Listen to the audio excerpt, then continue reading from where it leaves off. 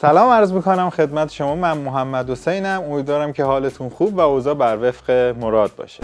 مثلا من خواستم ادای خانم قنبری رو در آیتم های آنچه گذشته در سروران عزیزی که در اعمال خاکسپاری یاری دادن. ولی از این خبران نیست. من خیلی مخلصم محمد حسینم. امیدوارم که حالتون خوب باشه. در خدمتون هستم با یک آیتم آنچه خواهید دید دیگه. امیدوارم که لذت ببرید. این برنامه بسیار جنجالی خواهد بود.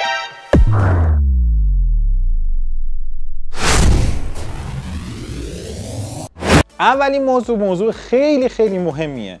آقای دیونگ بچه دار شدن و خب چی بهتر از اینکه آقای دیونگ این روزا بچه دار بشن؟ چه ربطی داره؟ و خب ما هم خیلی موافق کلا سنت حسنه بچه دار شدن هستیم. چرا که فرزند بیشتر زندگی بهتر واقعا؟ حالا اینا مسئله ای نیست. مسئله اصلی اینه که تیم آژاکس اومده زیر پست آقای دیونگ چون از بچهشون عکس گذاشتن نوشته که برای آینده. یعنی انقدر تیم آژاکس در استعدادیابی عمیق شده و رده نهالان رو کشف کرده گذاشته کنار نوجوانان رو کشف کرده گذاشته کنار.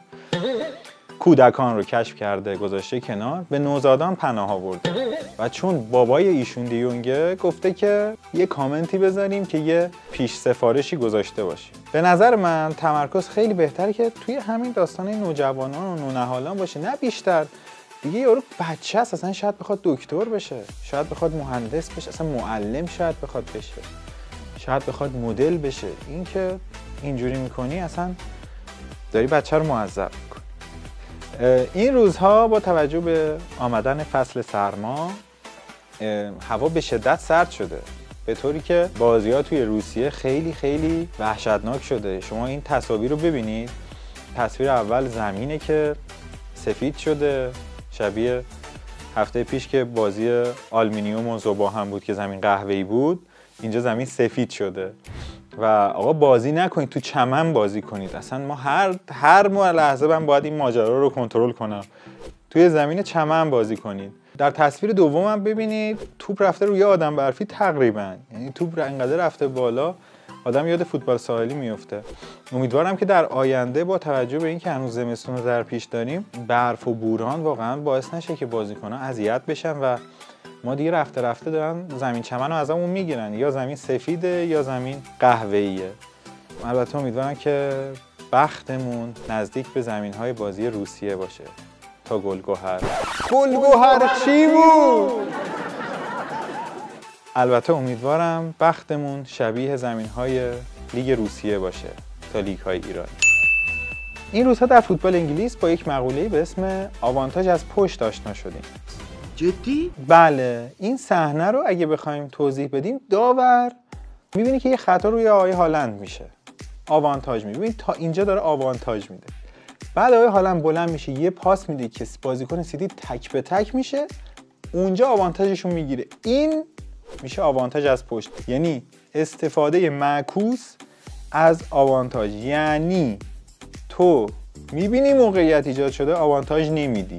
و این قانون به تازگی اضافه شده که فکر می‌کنم که آقای ونگر هم می‌تونه از موافقینش باشه. و امیدواریم که داوران محترم بیشتر از آوانتاژ خالی استفاده کنن تا آوانتاژ از پشت.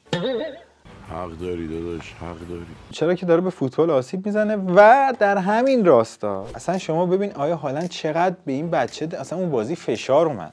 خیلی فشار اومد. شما میم هایی که از ایشون ساختن رو ببینین.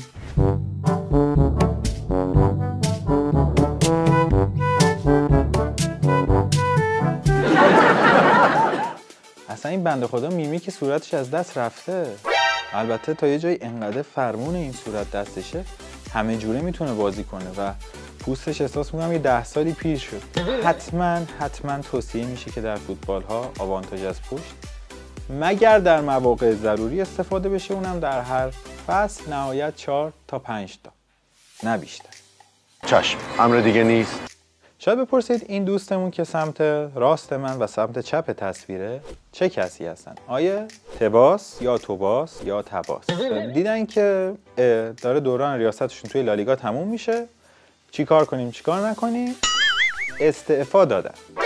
بابا فیلم بازی نکن. من خودم ختم عالمم. خب اصلا همینجا ما مشکل داریم اینکه چقدر قانون خارج از کشور برخلاف خودمون چقدر عجیب غریبه که این آدم می‌خواد دوباره رئیس لالیگا بشه میاد استعفا میده که دوباره بتونه کاندید بشه. بعد دوباره کاندید میشه بعد دیگه کسی کاندید نمیشه. یعنی این آدم دنبال جایگاهی بوده که هیچ سر نخواستنش دعواست. اینم در نوع خودش جالبه. یعنی شما فرض کنید که اصلا هیچکی با تو کاری نداره که تو رفتی اینجوری می‌کنی با خودت. بعد دیدن هیچکی این جایگاه نمی‌خواد دوباره این آدم رو گذاشتن به عنوان رئیس موقت لالیگا. و جالب اینجاست که اگر این آدم تا چند روز آینده اون در اون سمت باشه و کس دیگه ای کاندید نشه دوباره میشه رئیس لالیگا. یعنی اصلا یک پستی بوده که کسی باهاش کار نداشته. هیچکی هم طالبش نبوده. یه بار ریستش کردن مثلا یا یه بار کیلومترش رو صفر کردن. نمی‌دونم چیه داستان. دوباره این آدمه چیز میشه تمدید میشه. و واقعا عجیبه. خارج از کشور واقعا عجیبه برخلاف داخل. واقعا عجیبه و این قوانین فقط اونجا داره پیدا میشه. موضوع بعدیمون راجع به تیم پرسپولیس و بازی که روز سه شنبه داشت. تیم پرسپولیس مقابل ادوهیل بازی کرد و دو یک بازی رو واگذار کرد. راجع به دو تا از اتفاقات این بازی می‌خوام صحبت کنم و اولیش واکنش آقای گل محمدی به پرتاب اشیا توسط هواداران بود. آخر بازی هوادارای تیم پرسپولیس به شدت عصبانی بودن و شروع کردن به پرتاب انواع اشیا به سمت زمین و آقای گل محمدی با رخ و استایل آقای جود بیلینگام به سمتشون میره. اول واکنش آقای جود بیلینگام رو ببینیم. بعد واکنش آقای گل محمدی رو ببینیم.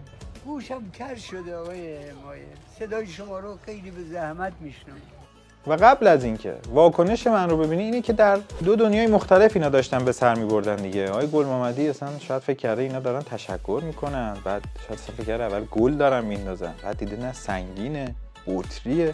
چجوری می‌تونه بطری باعث خوشحالی بشه؟ ما کاری نداریم. به هر ترتیب منم یاد جمله معروف چیزی که سفارش میدی و چیزی که تحویل می‌گیری افتادم بر ترتیب اگر ما می‌خوایم از کسی کپی برداری بکنیم خوبه که بدونیم اون آدم زمانی داره مثلا از این فضا استفاده می‌کنه که گل زده. نه اینکه شرایطش اینجوری باشه که تیمش دو یک باخته. اتفاق بعدی که خیلی هم تلخ بود واقعا این بود که آیه گولسیانی که اسم سختی هم دارن پنالتیشون رو گل نکردن. و خب چیکار کردن؟ دیدن در فوتبال یک استراتژی داریم که بهترین دفاع حمله است. گفتن که پس همین استراتژی رو می‌ذاریم و میریم به باشگاه نوتیس میدیم که آقا پول منو پرداخت کن. آقا تو گل می‌کردی حداقل. الان باید با کمپوت بری پیش هوادارا. بری بگی پول منو بدی. پول بده پول جور بده البته حق شما هم هست و ما هم نکته توی ماجرا نداریم. یعنی یه ریز حق شما هم هست. ما هم میپذیریم. ولی دیگه بعد اون گل نکردنه حداقل میذاشت یه هفته بعد. یعنی مگه چقدر دستت خالیه که تو رفتی میگه آقا پول منو بدی یه قرضی دستی از اینکه بازیکنان می‌گرفتی. نمی‌دونم. اینوری اونوری جور می‌کردی؟ من اعتماد به نفس این کارو ندارم. اصلا اینجوری بود که با تو با یکی مشورت هم می‌کردی می‌گفتن که آقا نرو زایه است. مثلا تو این پنالتی رو اینجوری کردی. الان نرو. الان عصبانی هن. میگه بذار بعدا برو. و دستی می‌گرفتی زندگی رو میچرخونی به هر ترتیب تصمیم شما بوده و اصلا به ما ارتباطی نداره. ما قضاوت نمی کنیم ما فقط راجبش داریم صحبت می‌کنیم.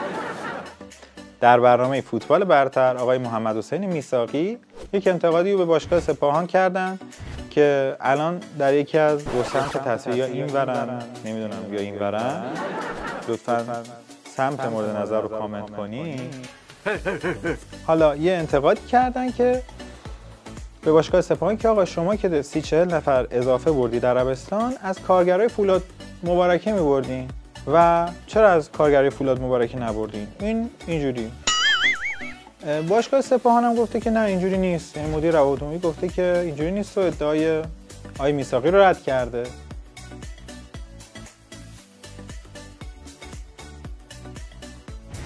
ما هم رد می‌کنیم. اصلا اینا کارگران دیگه حتما. اصلا کادرای رده پایین تر نیستن. یعنی اصلا هیچی. اصلا کی میگه؟ اصلا بی خیال اصلا مگه میشه اینا کادری باشن؟ اصلا کادرای رده پایین تر و اینا. همه اینا کارگران دیگه. آره دیگه. الان هم که ما داریم آنچه گذشت ضبط می‌کنیم یا محوت جریمه. منم که مجری نیستم.